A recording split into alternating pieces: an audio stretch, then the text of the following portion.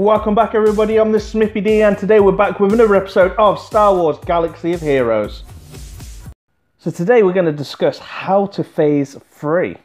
So, first off, we're going to discuss the effectiveness of the Jawas in phase 3.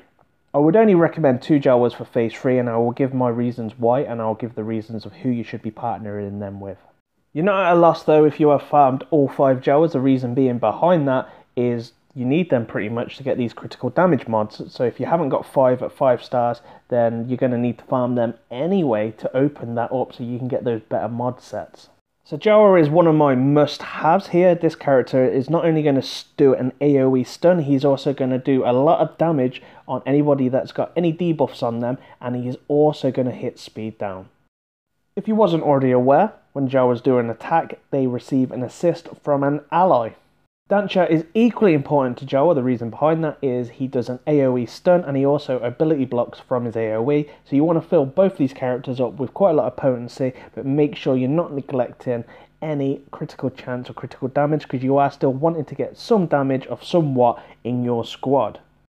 I also want to bring to your attention as well that Barrage, this is one of the actual moves that the B2 Rocket Trooper has. It deals unmitigable damage to all enemies and inflict healing immunity for two turns. Then this ability cooldown is reduced by one for each defeated ally. This ability starts on cooldown. So don't kill his friends, folks. Leave his droids alone as much as possible if you can stun them, ability block them. That is the way forward. I wouldn't advise killing them unless you have to. So no AoE squads here. They probably will not work. Watch out for the tank rebuilding at the back. Once that meter does fill up, he does hit you with a very big attack. So heavy shot, it deals unmitigable damage to the target enemy and a secondary physical damage to all other enemies. This attack can't be evaded if the primary target doesn't have a positive status effect. This attack deals massive damage to them instead. So what that means is the primary target that the tank chooses to shoot is going to need to have a positive effect above their head. If they do not, then you're most likely going to have your squad KO'd. The battle droid with a positive effect above their head, once they do hit you with their move, they are going to pretty much kill your squad or kill the character that they are actually targeting. There are three ways to prevent this. The first one being that you can kill the droid, which you don't really want to do. You can stun the droid, or you can go for a good old ability block. The ability block is going to stop the droid from doing their move, and that is guaranteed. They will shoot with a basic and not a special. So, one of the favourites here is definitely going to be Eeth Koth, specialises in droids, and he also ability blocks and stuns. Following Eeth Koth, I would suggest Luminara. She has some great healing abilities. She's also a Jedi like Eeth Koth, and she ability blocks with a 2 cooldown once you Omega it. Poggle is fantastic. His basic ability blocks, and he also can give a fence up, which is in turn a great buff for the squad.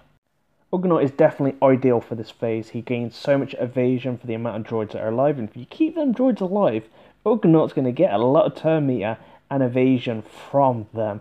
And he also has a stun AoE, and he deals a lot of damage off his basic two droids. Also, I'd like to suggest using Luminara or Old Ben also as viable leaders. So if you do not currently have Dathcha, then you can try and using them and go for a little bit of RNG and a little bit of dodge. So as long as you're using an AoE stun like Dathcha or Jawa, this leaves room to have an ability blocker in your squad just in case you do need to ability block, I'd advise possibly running two because it does normally happen when you do enter the battle that you're going to need to ability block or stun two characters or they are going to kill your squad immediately. So this is something that you need to do or you will die.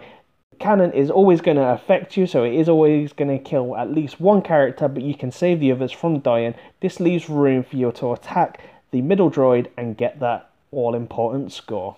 If you haven't already, then please go and check out my how to phase 4. So that's a great video on how to get past phase 4 heroic.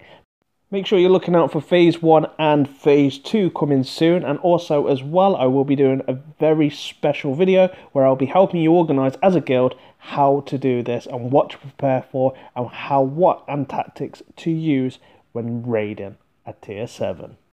I hope watching this video has really helped you understand what you'd need to do in this phase and where to build a squad or what squad to use. There is a lot of flexible ways you can use this squad, but the most important part is, as what's been said before, is the ability block and the stun, and you do need to do this. There is no compromise in this, and you do not want to be killing the droids because you'll be in a lot of trouble.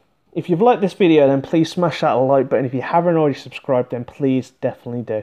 I'm the Smithie D. May the Force be with you always.